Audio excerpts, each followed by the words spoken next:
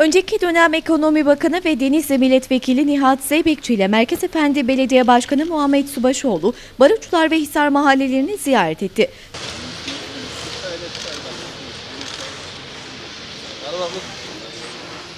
Ziyaretlere İl Milli Eğitim Müdürü Mahmut Oğuz da eşlik etti. Ziyaret ilk olarak Barutçular Mahallesi'nden başladı.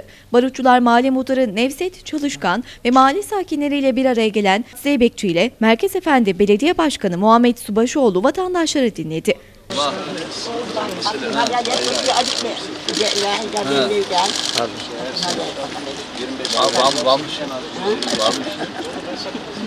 İsteğin, Sen gelin olup ya kaç önce. bir, iste, bir isteğin var mı? Gelme ziyarete gelmiyor. Biliyorum. Biliyorsun onu alın biliyor musun? Sonra bir geleyim ya. Şimdi çıkacağım Ankara'ya gideceğim. Hemen. Hemen gel. Muhammed diye bir kadar var. Hemen hemen gideceğim. Büyüsün da ziyaretim geldi ben gene. Bir de dua et olur mu? Hep dua edin. Hep dua, herkes, hep dua Herkes dua edin. Cumhur, Cumhurbaşkanımıza dua. Herkes dua edin. Herkese. Baştan düzeltin dua edin. Allah razı olsun. Zeybekçi ile Merkez Efendi Belediye Başkanı Subaşıoğlu, Barutçular Mahallesi'nden sonra Hisar Mahallesi'ne de gitti.